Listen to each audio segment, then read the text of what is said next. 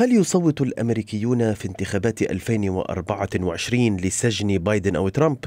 سؤال بات يطرح في أروقة السياسة الأمريكية في ظل ما يواجهه الرئيسان من قضايا تتعلق باحتفاظهما بوثائق حكومية سرية أثناء وجودهما في منصب رسمي. موقع ذا هيل الأمريكي نقل عن محللين قولهم إنه رغم التصريحات التي أدلى بها بايدن حول الوثائق التي عثر عليها بحوزته فإن هناك قدرا كبيرا من الأدلة الكافية لتوجيه اتهامات جنائية ضده. اتهامات زاد الحديث عنها خاصة بعد عملية التفتيش الجديدة لمنزل بايدن بولاية دلوير بعد عرض طوعي واستباقي بحسب البيت الأبيض.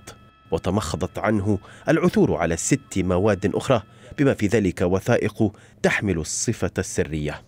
في المقابل يرى عدد من المحللين أن التحقيق مع ترامب الذي أجرته وزارة العدل لا يشمل الاتهامات بسوء التعامل مع المواد السرية فحسب بل يشمل أيضا البيانات الكاذبة والعرقلة وهو ما يعد كافيا لتوجيه اتهامات للرئيس السابق.